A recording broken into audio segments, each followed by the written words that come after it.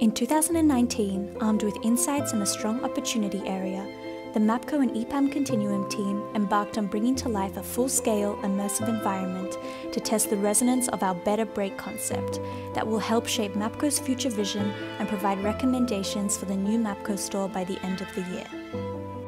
For this purpose, we prototyped a new type of store that has a unique layout and product mix, multiple fresh food concepts, different technologies for payment options, an outdoor leisure and recreation component, and a reimagined pumping experience. We invited 22 guests to walk through our make believe store white labeled Waypoint so that we could understand how they would react to this future vision of a retail experience. It's easy. It's easy the eye. It's, it's organized.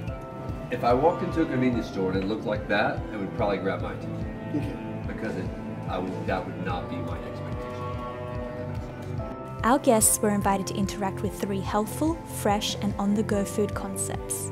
They were then asked to provide feedback on the different aspects of each that resonated with them. in the mall and you've got all of these places and you the one that cooks it up in front of you because that makes me feel like it's not sitting in a pan of something forever. It's like the good variety of taste flavor.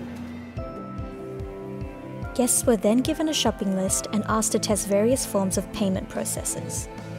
We started with an employee approaching a guest while standing in line to do a mobile checkout.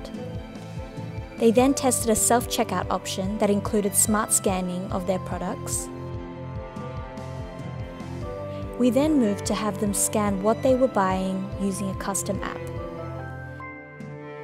And finally, we provided an Amazon Go type of experience where they used their phones to come in and simply grab the items they wanted and walk out. Okay, that was that was that was cool and kind of creepy at the same time. What's that make you feel when you Oh, awesome. Yeah, I didn't wait in line. I felt like I knew something no one else knew. I felt like a savvy shopper. Seriously, I did. Yeah. If I could just walk in, scan something, and just walk right out. We then provided an experience of being in an outdoor green space where participants engaged in rest, movement, and entertainment, and asked how they could see themselves spending their time This there. would be awesome. I would love to see this. Yeah. See? There's your coffee. Right. Service with a smile. right. I mean, that's that's phenomenal. I think that's a great idea. We tested different ways in which the pump could improve the customer's experience by providing three different forms of content on a screen by the pumps.